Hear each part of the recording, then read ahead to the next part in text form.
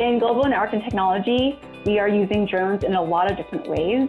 It helps when we're designing our network. It helps with identifying if there's any faults with our build. The drones allow us to provide the next level uh, or innovative approach to uh, data collection for data analysis to improve Verizon's network. For us on the Verizon response team, drones provide a level of situation awareness that very few other tools have the capability to provide. We assist in search and rescues. We give them eyes in the sky some of the other teams on the Verizon response team utilize drones to create networks in areas where networks are not currently functioning.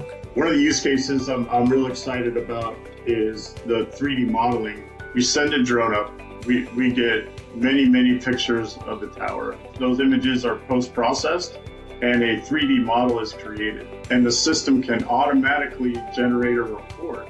And we have been able to actually detect issues with antennas that we never would have seen.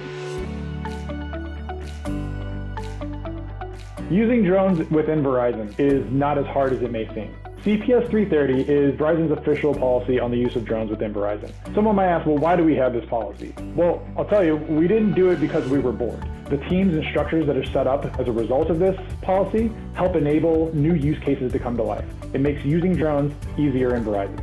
The Verizon Drone Handbook is accessible to anybody within the company. Within there, you can find Verizon's standards for program use, uh, pilot requirements, drone program management structure. And if you want to get an idea of what you need to be able to do, that's it. It's going to facilitate your adoption. It's going to protect you. It's going to allow you to use drones safer and also comply with federal regulations.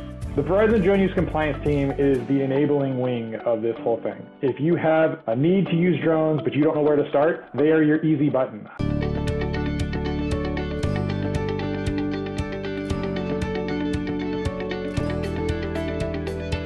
Right now we're doing lots of cool things with drones. And we know that there's lots more use cases that, that we don't even know about yet. It's the things that we want to do later the really advanced use cases. That's going to all be based off of how well we're able to align and comply with rules now.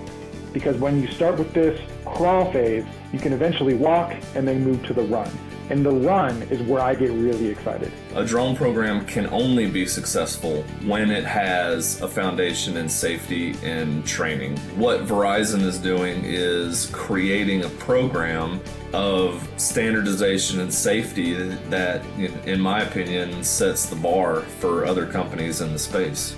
Drones are here to stay, and they're going to be a big part of our ecosystem.